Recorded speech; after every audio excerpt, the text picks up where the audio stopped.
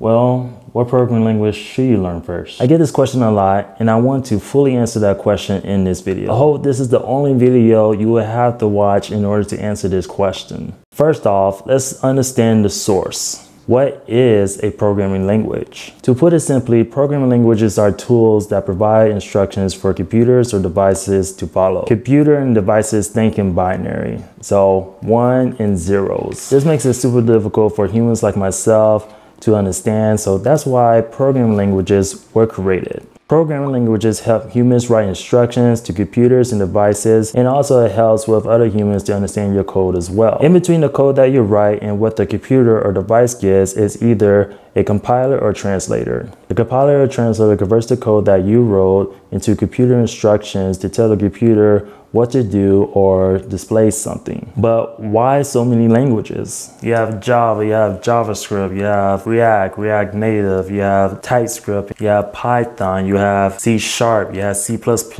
assembly, and all these other things. For the same reason for the first programming language, it was there to solve a problem. At first, it was easy stuff like adding numbers and subtracting and all this other stuff. But as things, you know, got older and as things continued to advance and stuff, we actually got to the point where computers actually teaching themselves. I guess we got tired of actually coding it. Machine learning. But ultimately, they're there to solve a problem. And there are so many different types of languages. The three main types of languages I work to date are markup languages, scripting languages, and object-oriented languages. Markup languages include HTML, CSS, XML. Scripting languages such as JavaScript, TypeScript, Bash, PHP. Object-oriented languages such as Java, C++, C Sharp, Apex. Some might say markup languages aren't really programming languages, but I say it is. You still need to write it out to build out what you're trying to achieve, and the interpreter would need to render it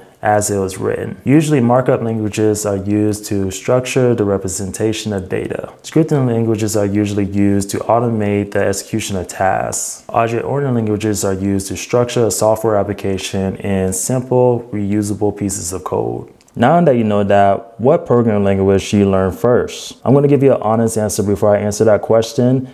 And the answer to that question is it all depends. For example, it depends if you want to build mobile apps. So you decide on what platform you want to choose to build that app, Android or iOS. So in that particular case, you'll probably be using the latest of Kotlin to develop in Android apps, or you'll be using Swift in order to develop iOS apps.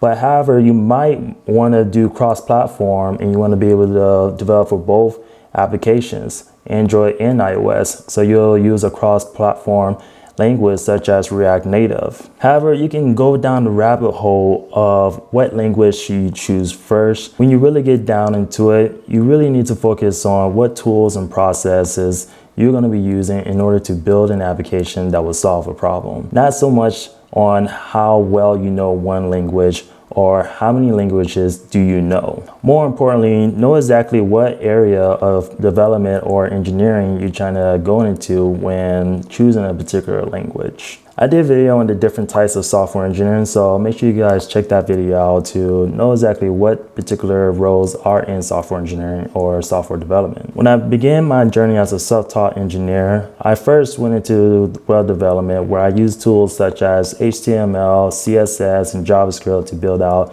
static and also dynamic web pages.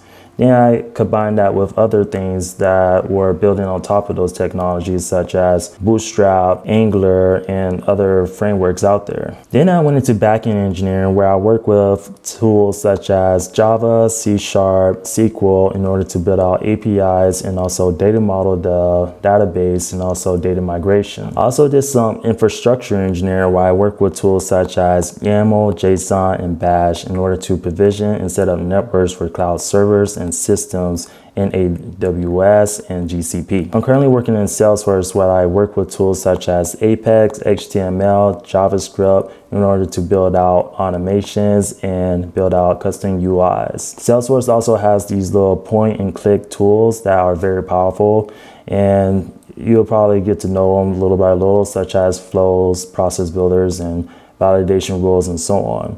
This is pretty much a paradigm that makes it where it's low code kind of effort and minimize the amount of code that you actually have to write.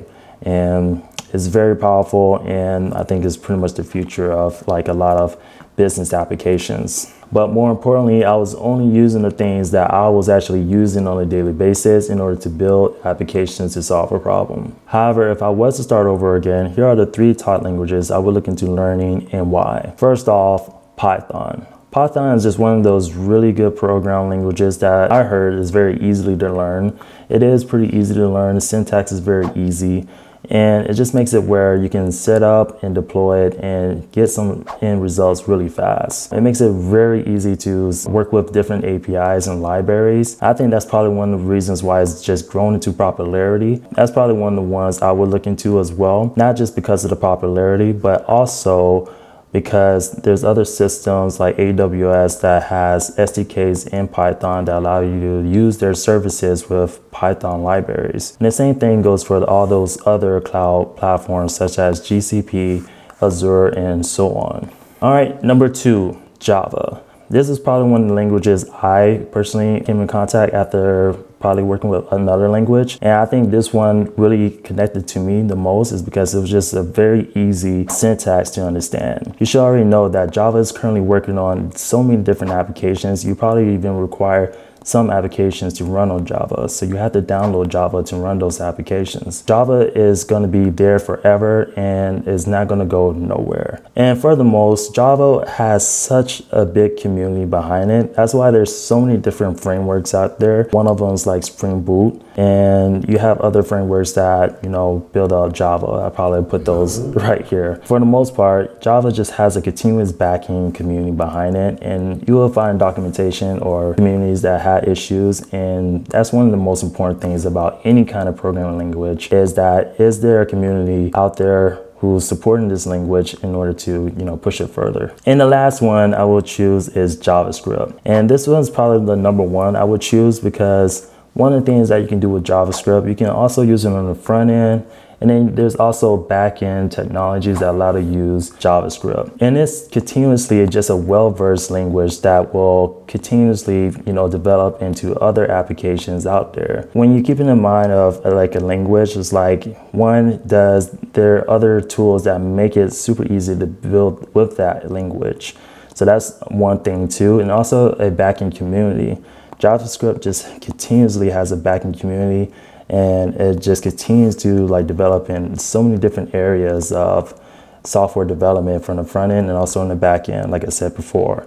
I'm gonna be completely honest this was probably one of the least favorite languages when i first started out even when i was doing web development I didn't find it uh, very easy to learn, but at the same time, as I'm using it now for different things that I'm working with, like for personal projects and also working in my job, I find it that is a well-versed language and super flexible. Like you can get away with a lot of things in JavaScript that you couldn't get away with all these other languages. And like I said before, it's just gonna continue to grow in popularity and it's gonna just be there forever. It has long longevity in this software community and it's just going to continue to be there for anything you need to build. Well, I hope you guys enjoyed that video. If you enjoyed this video, give it a thumbs up and, you know, subscribe to this channel if you thought this video was very informative. And, you know, don't miss out on any awesome videos I have coming up.